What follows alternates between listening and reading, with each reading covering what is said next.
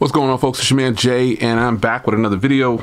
And um, a lot of you guys asked, yo Jay, why did you sell your T-Mobile version of the OnePlus 6T? Well, I paid full cost for that phone and T-Mobile still offered me the credit. So you get the credits on your bill even if you don't have the phone. So that's a half off for the phone. So I decided to go ahead and just sell it and get the, the unlocked version. Now, um, I've had this for quite some time now. I just hadn't done a lot of videos on the OnePlus 6T because of all the hype behind all the other phones, but I actually do use this every day. Um, it is one of my daily drivers. So I sold the phone simply because I got it for half off. I got it for 290 bucks. And then also the updates. Now, I like stock Android. And so I felt like, you know what, if I'm going to do this, once I realized the clause that was in there for T-Mobile, um, you know, with the updates, I said I can't do it. So I decided to just get out while I could, and I sold that phone for I think 500 bucks or something like that. I don't even remember what I sold it for, uh, but I sold it for uh, at least 500 bucks, and um, I decided to take my chances and see if I could sell it, and I sold it for that amount, and then I got I immediately went in and I got the unlocked version, uh, and you know it's it's just a matter of I just wanted to get the unlocked version because of updates, and then I got the other phone for half off. So that's that. Now, how's the phone doing? Obviously, the unlocked version uh, is is fire. I've been rocking my unlocked. I mean, I'm my unlocked. I've been rocking this generic OnePlus case that I bought a long time ago. Uh, I remember I bought this for like five dollars or something like that, four dollars. So I've been using that. I have a clear case that I was using too, but gotta show off the Sofie Guard skin. Love this, love this skin, man. It is just boss.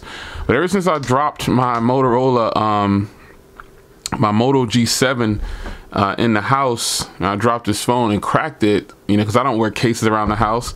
I was like, man, I gotta start rocking, you know, some cases around the house. so I put my put my case on, man. I, I, pretty much got a case on all of my phones uh, now, uh, no, regardless. And then I also bought a nice case for my Sony joint, so you'll see a video on that separately. Really, really like this phone, man. You have no idea. I really like it.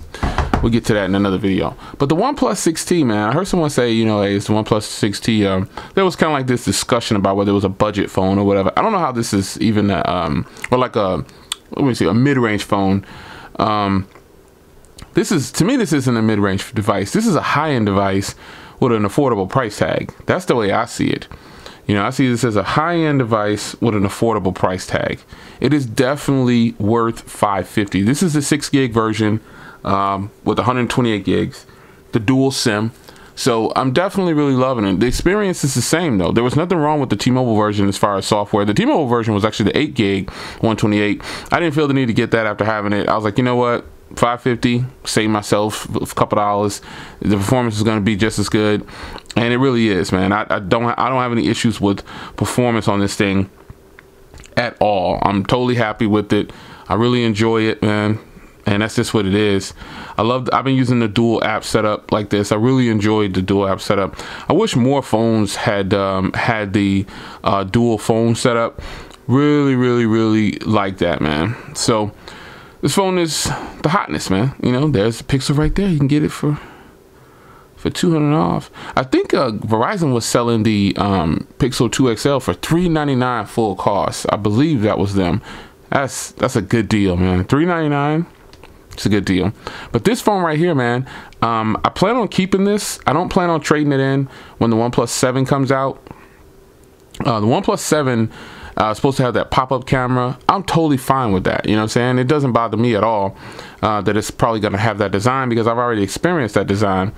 Uh, and I think it's a really nice look. I got to get me a tempered glass for this though. You know, that's about all I'm going to do with it, man. And just keep it like this and rock out with it because I know it's going to get all the software updates.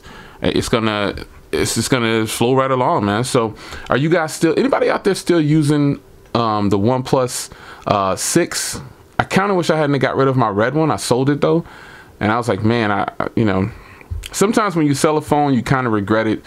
Uh, like my my Vivo Nex S, I can actually just grab another one of those. I just kind of was, you know, I had to get rid of it though, because it was just going to be sitting around for a couple of months while I reviewed other phones. And I thought, nah, I'm going to go ahead and sell it while I can still sell it. So I sold it.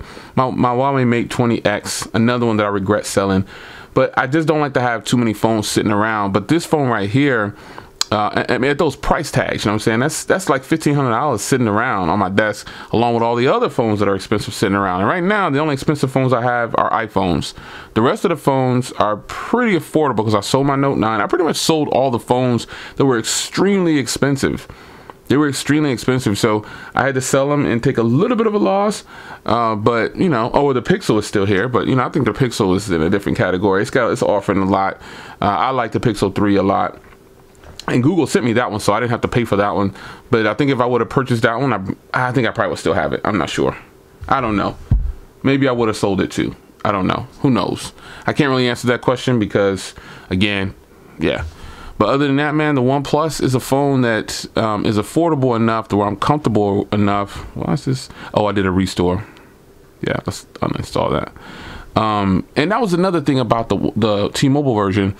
It had a lot of T-Mobile bloatware or T-Mobile things on there, uh, and you know had had to disable them, can can uninstall them, so um, disable them. But now I'm free of T-Mobile uh, things on there. Not that it's an issue, but you know I just want the option. And you know I got the uh, dual SIM version because you know the OnePlus is on the website. It's a dual SIM version, and I, I rocked two SIMs in here uh, this past weekend and I needed it that way because I wanted to carry both two two phone numbers and I thought, you know what? I'm getting ready to just put them both in here. I've got a lot of dual SIM phones, uh, but you know this phone is good, man. Uh, only place it's lacking really to me is is video. Video is really not up to my standards. It does do 4K at 60 FPS, uh, but video it, it, could be better, man. You know, I, have tried to use this phone in certain settings, and it, it, needs a lot of artificial light, or it needs um, sunlight for it to really be up to my standards. And that's just me. Photos are fantastic. I take a lot of photos with it. You know what I'm saying? So, you know, the night mode is not that great. You know what I'm saying? It's nothing new. I think the Pixel is the king of the night mode. Uh, but, you know, overall, man, I'm impressed with this phone still. And I think I'll probably stay impressed with it because you get a huge screen, low price tag, latest software. The design is, is nice to me and I'm cool with it. I do kind of miss my headphone jack because I have some of the best headphones by 1More that I've been using and I got to use an adapter. I got the quad drivers and then also have the um, triple drivers from 1More. If you haven't seen that, uh, those videos, check those out. But you can hit the link in my description. You can grab a little discount. You know what I'm saying? So those those headphones are totally boss. Uh, but you know, I, I got to use an adapter with it and it's cool and everything. You know what I'm saying? keep my dongle on deck because I really use those a lot. But we shall see how that goes, man. Um, anyway, the OnePlus 6T, definitely one of my favorite phones, man. I really, um, I'm glad I was able to sell the T-Mobile version uh, and just grab an unlocked version. I'm okay with having a six gig model. I've had the eight gig model, and you know, I, honestly, I can't tell the difference between the two at this point in the game. So, you know, it's up to it's up to you to decide what you want. But six gigs is more than enough, and 550 bucks for what they're offering, man. I think it's a hot deal. It's your man Jay. The OnePlus 6T is still here, man. It's flowing right along. No problems whatsoever. Blazing fast, even with 6 gigs. 550 is just a killer deal, man. You, you, if you don't have a OnePlus 6T by now, I can definitely recommend it over several phones out still. Uh, but there it is, man. Follow a video, OnePlus 6T, and why I bought the unlocked version and sold my T-Mobile version. I'm waiting on the OnePlus 7 now. Let's get it.